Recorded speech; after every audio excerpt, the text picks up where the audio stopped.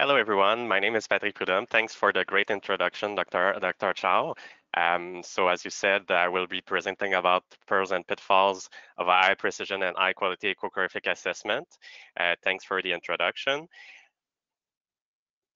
So for the objective of, of this presentation, uh, they, they, will be to review the main physics and pathophysiologic concepts that may contribute to the imprecision in measurements during the cardiac echocardiography, um, to, to list and seek actively common sources of error when assessing specific pathologies, uh, to discuss actions to take when confronted to possible sources of imprecision while taking into account the physical principles and pathophysiologic concepts learned under bullet one. Uh, and uh, we will review also various pragmatic strategies for quality control and continuous improvement in the echocardiography lab. I just want to put a disclaimer. This isn't this isn't a review about uh, every measurement possible because that would be too um, uh, cumbersome to present in uh, uh, about an hour presentation. but I will try to give out examples at the end of the presentation to um, put some concepts behind what, what I explained to you in the first part. Um, so for the plan of the presentation, I will uh, start to, to, to, talk to you about general concepts and importance of imprecision and error. So why, in, a, in, a, in a summary, why is it important to uh, account for error and imprecision? Uh, we will then uh, discuss about physical uh, physics uh, principle of, um, that may account for our artifacts and imprecision. Uh, we will use specific examples that we encounter frequent, frequently in the echo lab uh, to um, uh, illustrate uh, the principles men I mentioned before, such as mitral regurgitation and aortic stenosis. we will then discuss about applying the pretest probability and the Bayes theorem in the, the echo lab, and we will conclude afterwards. So about the general concepts and the importance of imprecision and error. So um, I, I, while I was preparing this presentation, I thought, how, how could I uh, keep it simple and uh, how, how, could I summarize uh, the, um, uh, the, the ways that one can um, make errors and imprecision in the echo lab? Well, it I, I, I think it boils, boils down to four concepts. Uh, you may overestimate the measurement, underestimate the measurement. Uh, there can be also over or under diagnosis of a pathologic condition. Uh, and there can be failure of oneself or a working group to reproduce similar repeated me measurements in the same patient or similar settings. Uh, so the, the, these are rule of thumbs. They are not absolute, but uh, while I was uh, thinking about the presentation, I, I thought we could summarize uh, imprecision and error in the EchoLab that way. So it, it all boils down to those four factors to my point of, from my point of view. Um, when I thought about potential uh, source of errors. And uh, when I read about the source of uh, errors and imprecision in the echo lab, uh, there are many factors that uh, one must account for. Um, we can summarize them by uh, by five um, topics. Um, there are topics related to the physician or the profession, professional that is performing cardiac sonography. Um, experience plays an important role into interpreting and measuring um, the uh, echographic images. Um, there can be feedback to training physicians uh, and uh, ongoing feedback uh, with even well implanted into practice phys physician to help improve the precision and decrease the risk of error while during, doing the measurements. the clinical experience, as I said, um, there are techniques uh, used in acquiring the measures uh, that may vary uh, vary according to Uh, how, how, the, um, the person has been trained. And there are also physio physiological constraints such as concentration, uh, focus, uh, eyesight. so there are all limitation, physio physiological limitation related to the physician or professional. Um, there can be inherent um, imprecision of the measurement instrument. So those can be mo modifiable. So the, the setting on the probe, uh, uh, the use of the probe uh, and such. And, and others can be non-modifiable, such as uh, uh, technology limitation or physics limit physics limitation. So um, we we must think about those two because the modifiable we can uh, modify those factors by uh, um, as, uh, by assessing the situation and correcting the uh, the parameters, for example, of the echocardiography machine. Um, and the non-modifiable factors are also important because we must account for them and while reporting the results of the uh, echocardiography that we uh, perform. Uh, there can be physiological parameters such as loading conditions, for example, when assessing uh, the diastolic uh, uh, function and valvular function. Uh, there can be the heart rate that is uh, most important uh, in mitral stenosis, but can be also important in many other cardiac pathology. Uh, the blood pressure is important, uh, especially when assessing aortic stenosis, for example, and arrhythmia may, uh, may um, uh, induce uh, many errors in measurements, such as uh, beat-to-beat variation in VTI measurements, for example, in the outflow tracts, and also can affect the, the feasibility of diastolic dysfunction assessment. Um, there can uh, the comorbid disease of the of, of the patient or uh, the characteristic of the patient may uh, induce a source of error or imprecision, such as body habitus, past radiotherapy, COPD, anemia, and prosthetic valve. And there can be also mathematical or anatomical assumption or simplification that are not always exact uh, that we must know and account for in order to give the, the, the, mo the most precise assessment possible. So about accuracy and precision, some general uh, concepts, uh, just so uh, when we refer to it in the presentation, we, uh, we, can, we can be on the same page. Uh, so accuracy, uh, you can see an example in the left, the, the bottom left image, a bullseye. so the accuracy is to to aim towards a certain point, uh, but not necessarily to be every time on that point. To be, uh, you can be all around that point, but you can be focused in a certain area. Uh, on the right upper uh, image, you can see that you may have high precision, such as repeating the same measurement over and over again, but you can all you you can be um, out of the bullseye. So that means that uh, you are able to repeat the same measurement. You have uh, in, uh, inter-exam reproducibility. Uh, and uh, you may have uh, inter-observer reproducibility, but you don't, you're, you're, not quite um, accurate in your measurement. And optimally, we want to be in the bottom right bullseye. So we want to be as, um, as accurate and precise as possible about sensitivity, specificity, specificity and uh, predictive, uh, uh, positive predictive value and negative predictive value. So um, the uh, uh, the sensitivity accounts for the the true po uh, positive the true positive of the test when the disease is present, uh, and the specific specificity accounts for the true negative.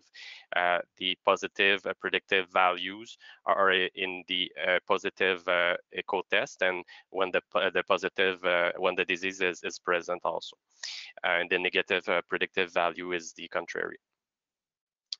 So when assessing error and imprecision, um, well, you must account for the that most of the measurement necessitate a gold standard in, in order to provide validity, validity or be associated with a diagnostic or prognostic outcome. You cannot just have a measurement to measure things. You want to uh, either correlate with uh, uh, an anatomical uh, certainty or correlate with an exam that has been proven uh, to be associated with diagnostic or prognostic outcome, or you want to the exam to be directly correlated with diagnostic and prognostic outcome.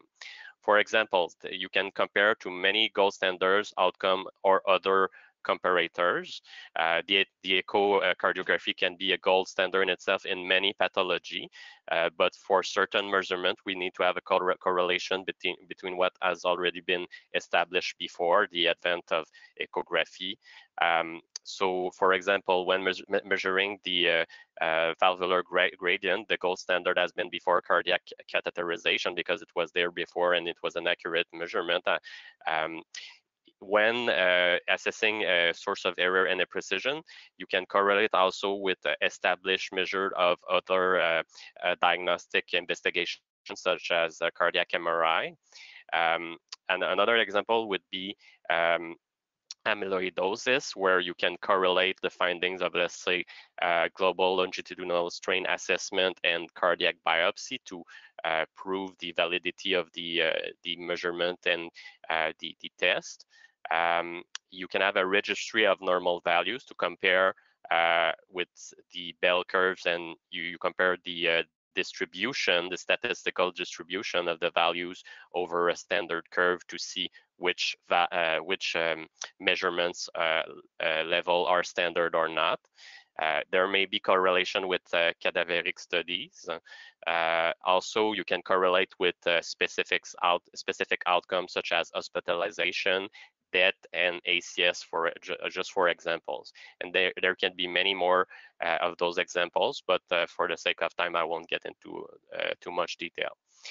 Um, why measurement uh, precision is important and why assessment uh, of sources of error is important when well with the echocardiography uh, it it may lead many measures have specific cutoffs that may lead to uh, invasive or uh, um, cardiologic interventions uh, or to important cardiologic intervention. Um, and it can have also a, um, pharma, uh, an economic factor. So for example, many uh, valvular replacement uh, surgery or intervention are based on specific cutoffs um, measured by echocardiography. so if you want to be precise, let's say you, you underestimate the severity of a stenosis, uh, for example, the aortic stenosis, well, you might preclude the patient from getting um, um, life-modifying intervention. And at the contrary, if you overcall a stenosis, well, uh, for example, the, again, the aortic stenosis, you may um, you may put the patient in a situation where uh, he uh, he is exposed to unnecessary risk because his prognosis wouldn't be as worse as we uh, as we anticipated. Uh, other example would be uh, aortic aneurysm repair uh, with a specific cutoff of the um, uh, aortic measurement. And for example, implantable cardiac defibrillator and resynchronization therapy.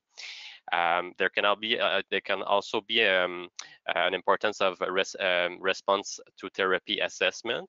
For example, when we want to know, uh, let's say if a patient has uh, fared well under Entresto or under uh, resynchronization therapy, well, you need to have uh, precise uh, inter-observer um, um, validity because you want to know if the patient has really improved his ejection fraction and that is not an error of measurement. So you want as a follow-up studies uh, to be as precise and uh, to, to commit less error as possible.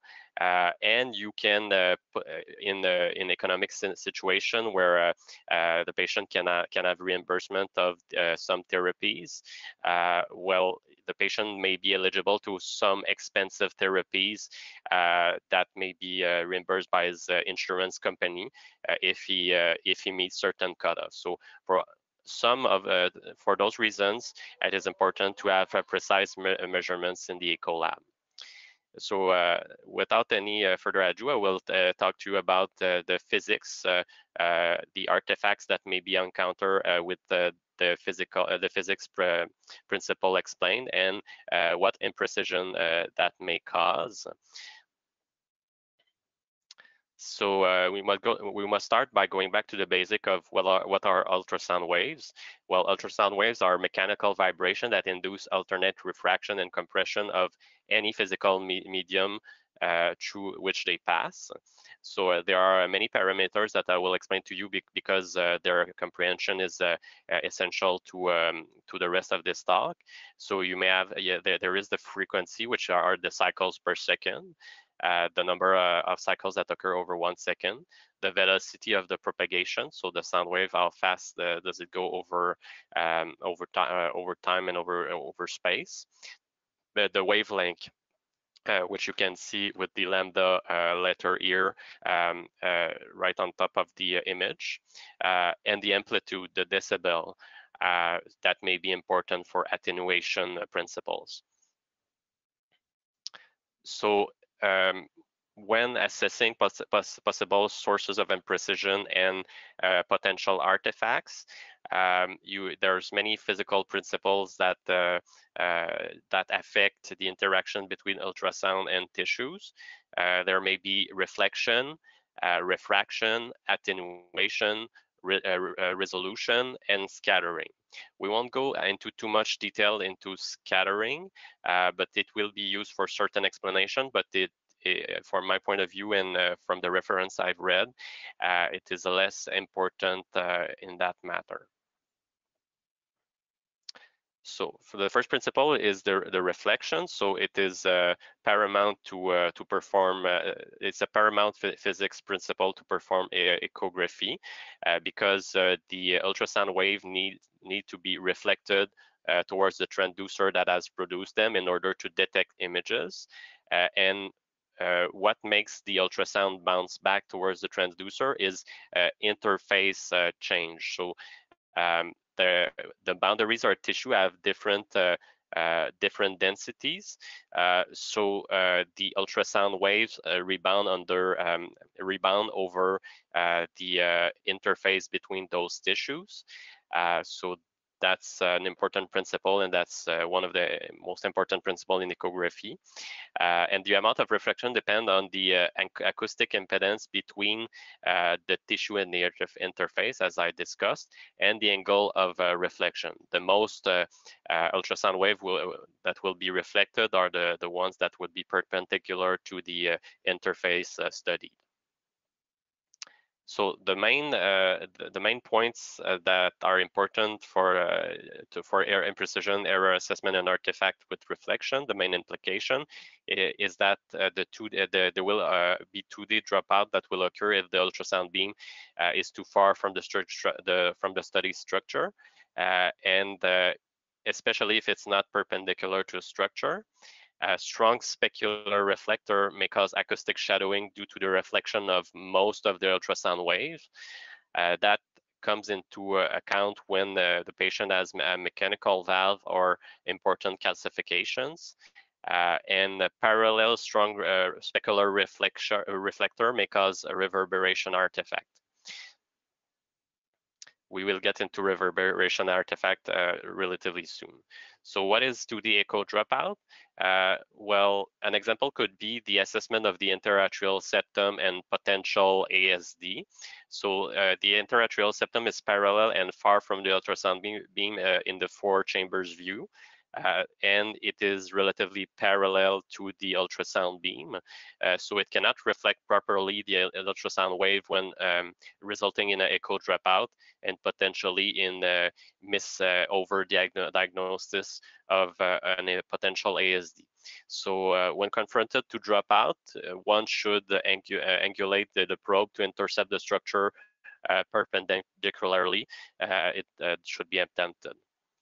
Um, as uh, another artifact that may uh, be uh, in that may be caused by reflection is the reverberation artifact. So part of the ultrasound wave may be reflected back and forth between two strong specular reflector and exit at parallel points, causing reverberation. So as you can see in the image uh, on your left, uh, the red, the red um, ultrasound wave uh, penetrates uh, between two parallel strong reflector and they get reflected back and forth. And they may exit the structure uh, at different points. So uh, they can be um, duplicate images at point A and point B shown on, on the image. Uh, so it depends on a reflection to uh, in order to uh, to occur. So how can a reverberation artifact may uh, be um, uh, accountable for uh, error in the echo lab? well, you can see here that there is um, a mass artifact or thrombus artifact in the left atrium on the long axis view. so one could uh, uh, mistake this artifact for a potential thrombus. Um, so in the, the, the, the, image on the left, uh, you can see that the uh, artifact at the bottom, which is marked by the small arrow, is caused by um, specular uh, reflection between uh, the aortic annulus um, upper side and lower side. Uh, so the, mo the most likely cause of the artifact in, the, in that case would be reflection back and forth uh, in the LVOT tract uh, and the appearance of uh, um, another um, uh, artifact in the left atrium, which is not at the positions that it, that it's supposed to. So if we go back, you can say that uh, the two the two black line would be the uh, LVOT tract in this example. And you can see a duplicate uh, artifact of uh, uh, one, one, cusp of the aortic valve caused by the same phenomenon uh, here. So one could, could, mistake this for, for example, for flaps in the in the our aorta another example here, which is uh, more a bit more difficult to differentiate uh, for a flap uh, in the uh, ascending aorta. So that is most likely caused by a reflection of the uh, uh, two parallel walls of the ascending aorta. so you may see the reverberation artifact may be mistaken for dissection flap. Uh, so another uh, physics, uh, physics principle uh, of uh, echocardiography is image resolution.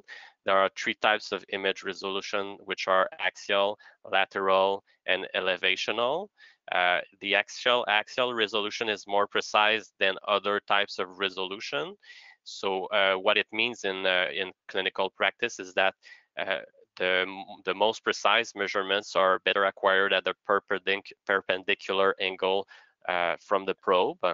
Uh, in axial, the, the, resolution is independent of depth. So if you take measure, measurements uh, deeper on the ultrasound beam, it doesn't affect the, the, the axial resolution and the preciseness of me measurement. Uh, it depends on frequency. Uh, lower frequency have deeper, uh, penetrate deeper in the in the body, but may have less uh, axial resolution. Uh, and uh, the resolution is approximately twice the wavelength.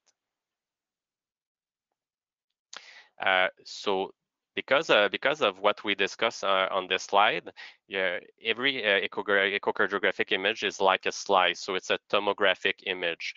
so the the ultrasound beam doesn't differentiate between uh, things that are uh, within a point of the, uh, of the axial or spatial resolution at some point and may confound and may um, uh, and there, there may, may be some images that aren't directly in the um, in the physical plane that may be uh, introduced into uh, the viewing plane while doing the echo echography.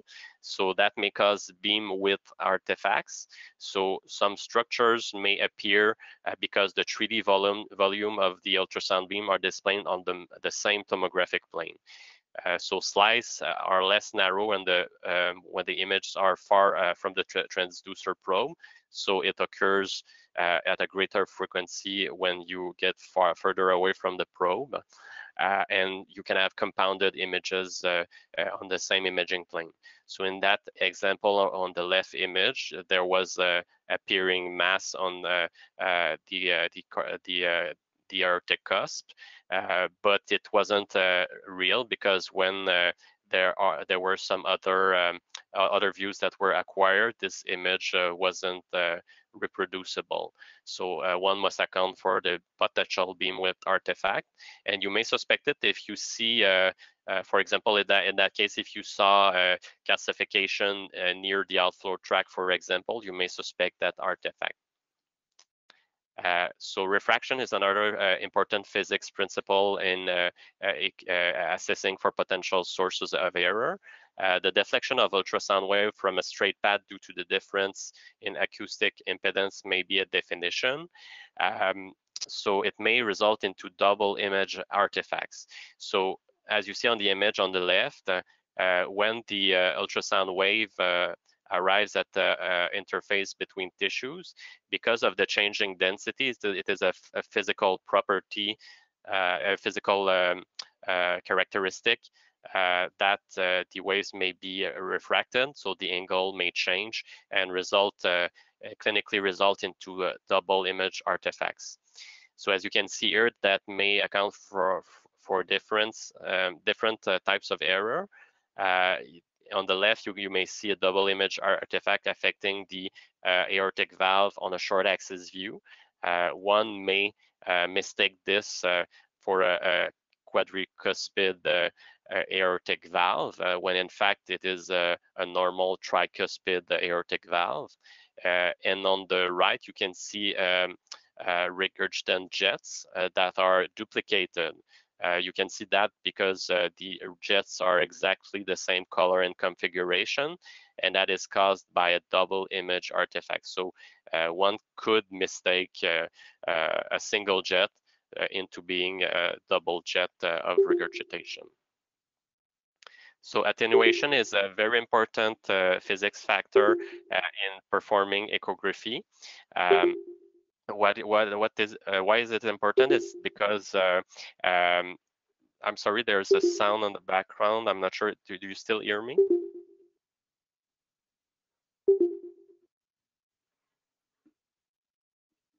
Now we can still hear you well.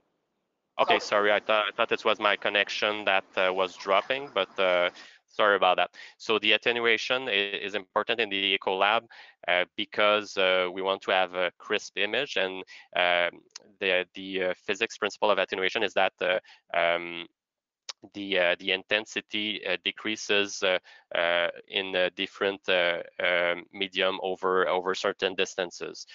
so the ultrasound wave can travel um, in a greater efficiency with certain medium, for example, uh, echocardiographic gel, uh, soft tissue, tissues, uh, but uh, does not uh, propagate well into air or bone, for example. So that depends on uh, intrinsic um, properties of tissues. Um, so the main clinical implication is that in order to have um, crisp images, you have to take account into physical um, uh, physics uh, properties of the intensity. So the intensity is governed by uh, the formula that you can see over here. So I2 is the point where you want uh, the intensity uh, where you want the ultrasound uh, um, the ultrasound wave to be, and I1 is the intensity over at the trans transducer probe, and the the um, the factor that is right next to uh, the intensity of the ultrasound wave uh, near the ultrasound probe uh, explain why the intensity of the uh, ultrasound wave drops over a certain distance. So you can see that it's exponential and that alpha is the attenuation coefficient, which is uh, specific to certain tissues, and L is the length, uh, so the distance between points of the transducer and the, the interest point.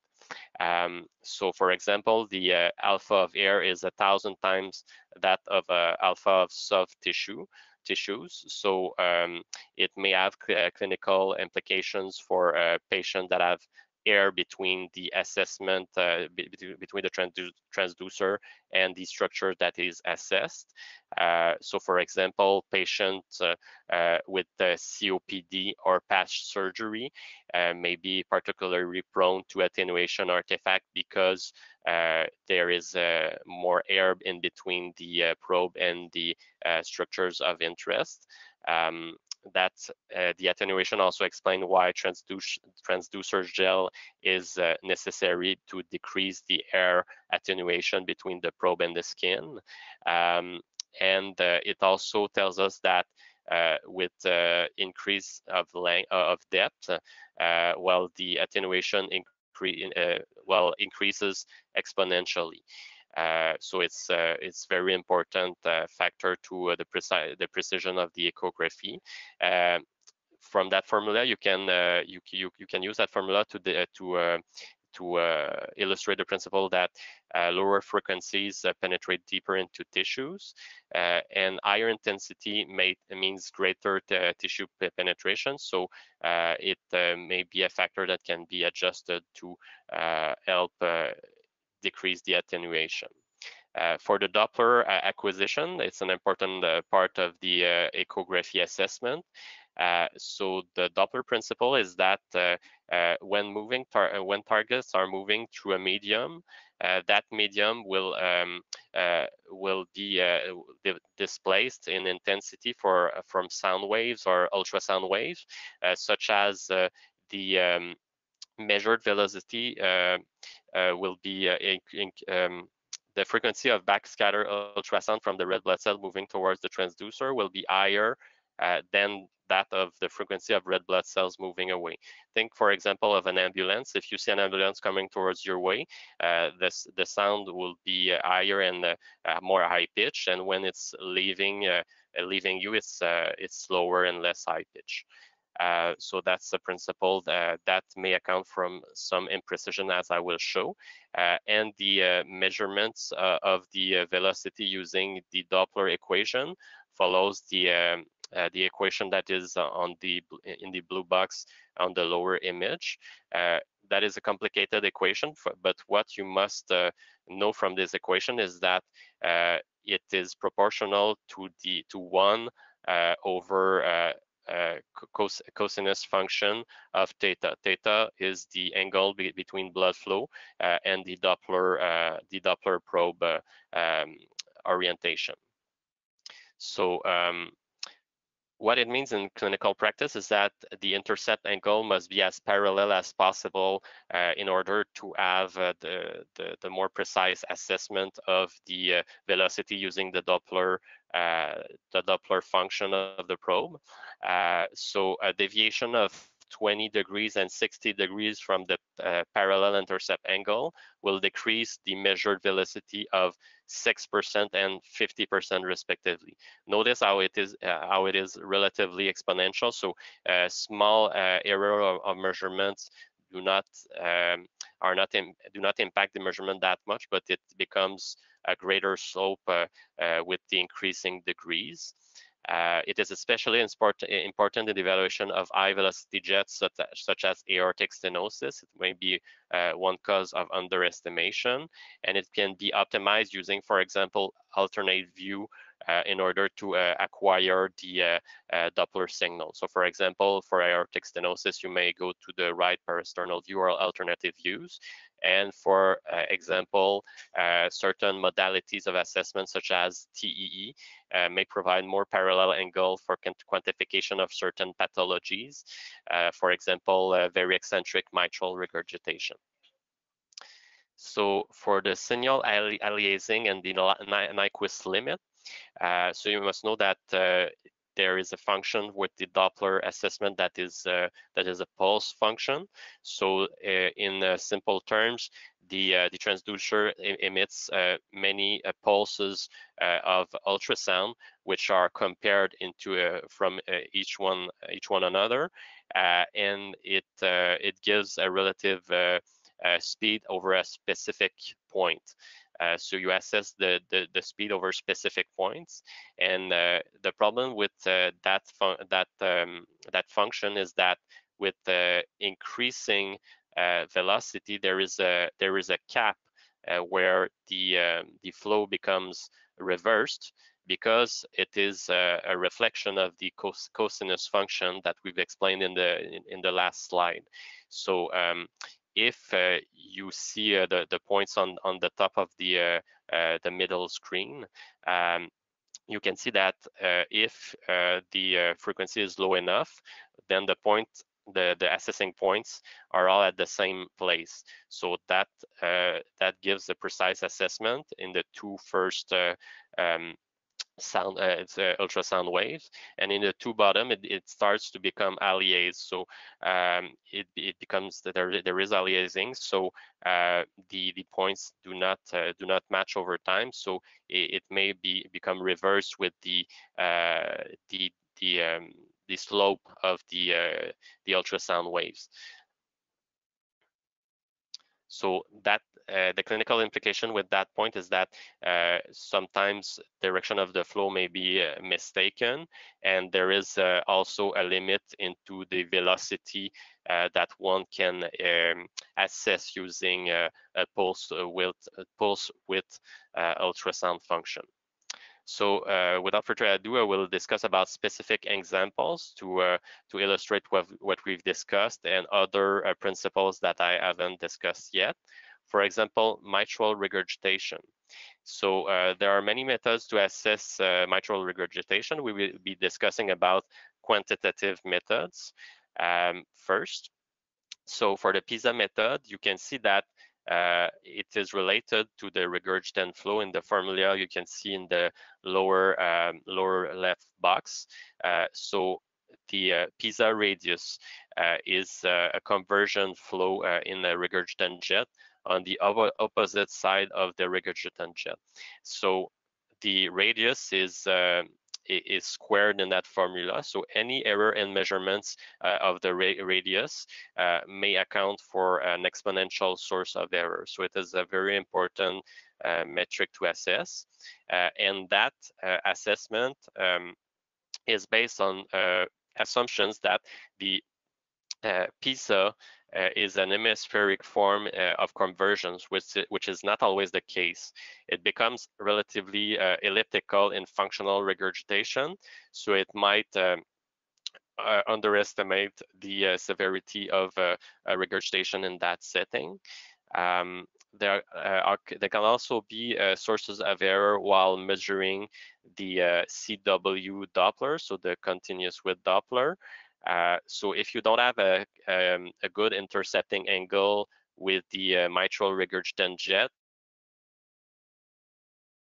as we discussed in the Doppler uh, physics principle, well, you can underestimate uh, the, uh, the Doppler uh, that you can see at the right lower um, image, and you can, in the formula, underestimate VTI, such as in the, the bottom formula in the lower left box. So um, you may underestimate the severity of the regurgitation, for example, for eccentric jet, because of the theta angle that increases uh, in the uh, the Doppler uh, form in the Doppler form formula.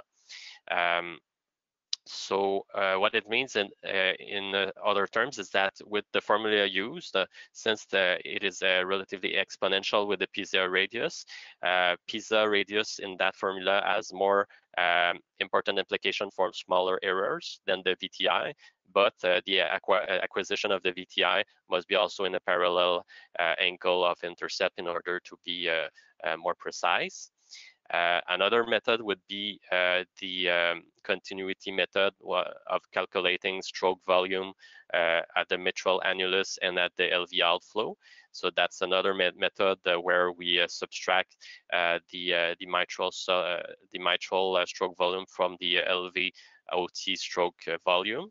Uh, that formula is uh, especially uh, important to understand uh, because uh, there is some compounding error that may occur. So you have to have a precise assessment of uh, the um, mitral uh, diameter annulus and the LVOT annulus because in the formula you can see at the bottom of the screen uh, the diameter is squared. So Uh, every small error accounts to a, a greater error than, uh, for example, the measurement of uh, uh VTI LVOT, for example, or VTI uh, of the mitral valve.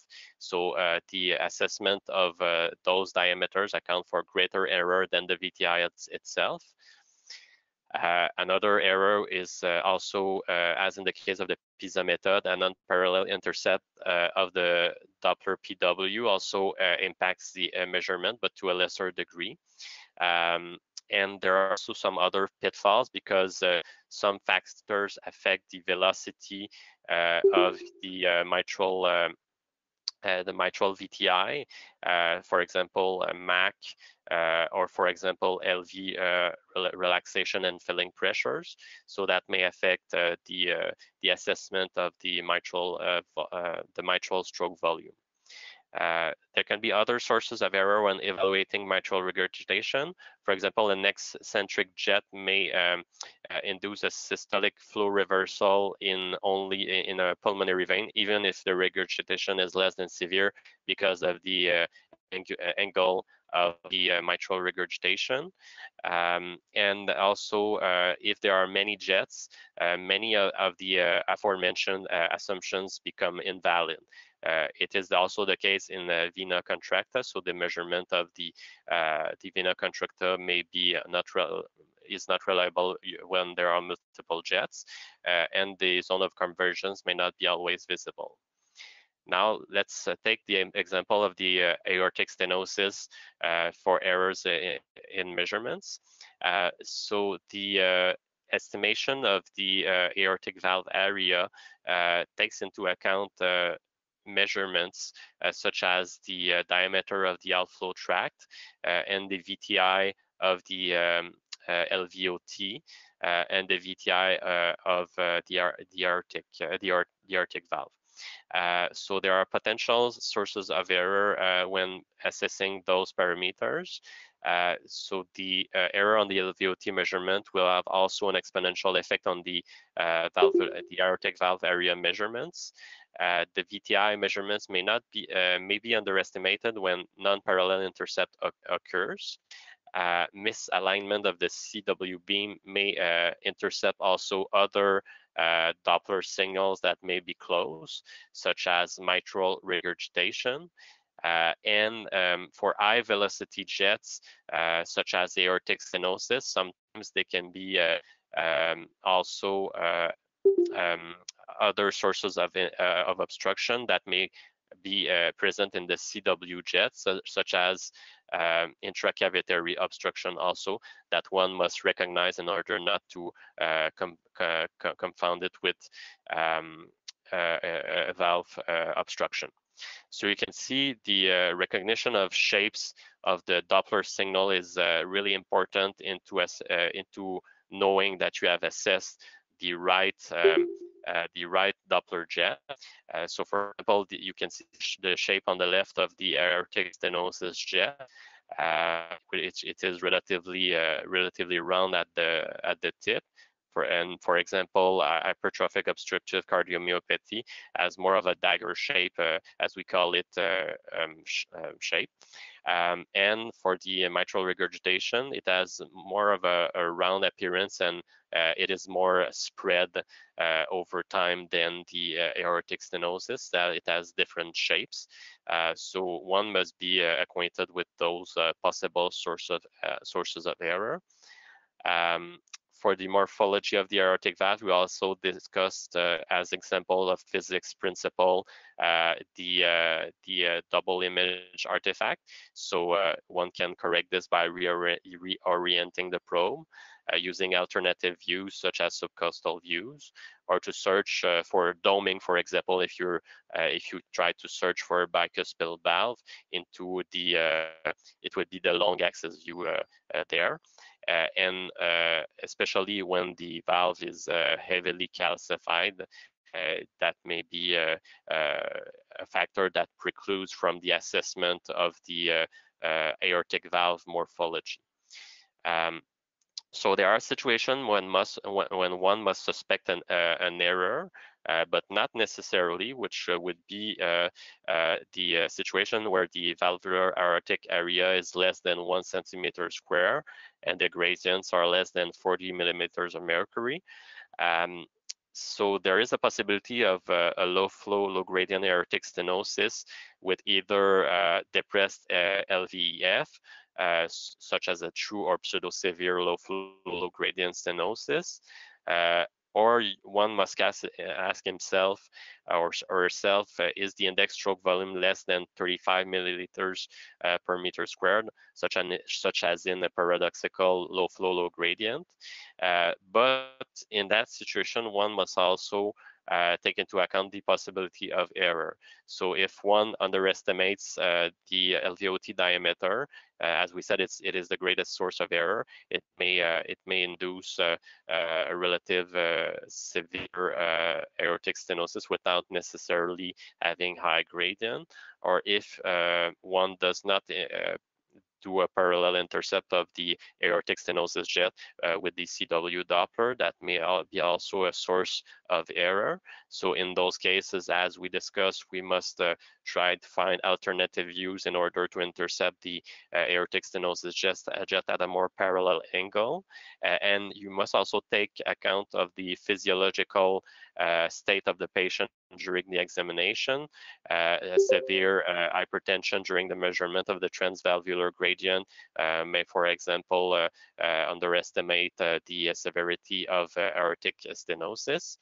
there are some limitations to the left ventricular outflow tract measurements that one must know.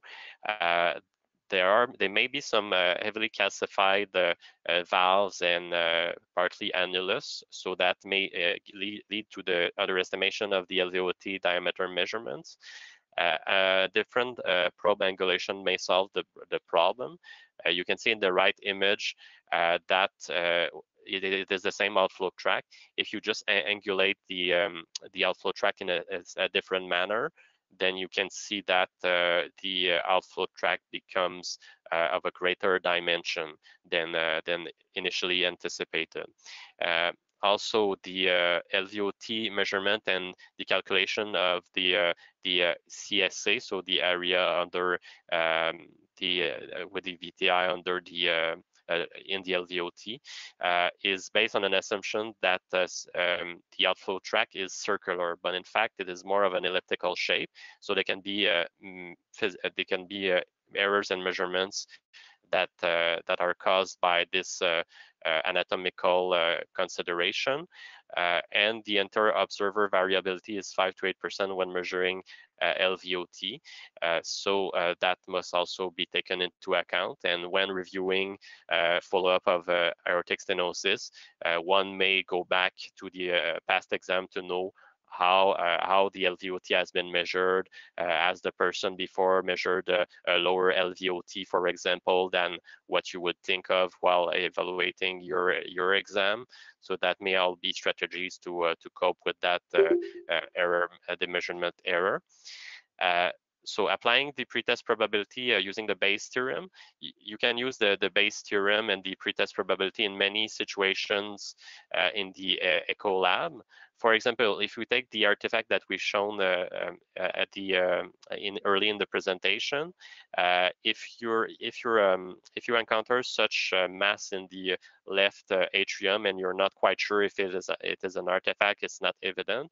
Well, would you say the probability of artifact uh, with, without knowing it as an artifact first uh, in a 70 year old patient that has had palpitation and stroke uh, would be maybe higher than an asymptomatic young patient.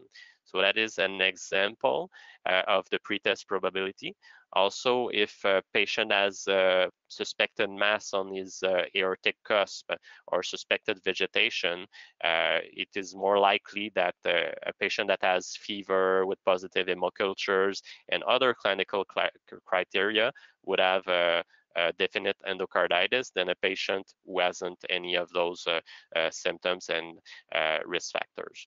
so it, it is also important with the stress tests uh, because sometimes you know stress tests may not be uh, uh the most easy to interpret because of patient movement uh, because of uh, poor endocardial endocardial border definition even with contrast in some patients uh, so if you're if you're not sure about a certain uh, hypokinetic area, well, you must also uh, inc incorporate the um, pretest probability using uh, the probability, the likelihood of uh, of CAD in your patient. So let's say a 80 year old diabetic patient with hypertension that you're not quite sure if he has potential hypokinetic area uh, in uh, the, stre the stress echo, uh, well, the likelihood of having um, significant CAD is higher than a 25 year old uh, female, for example.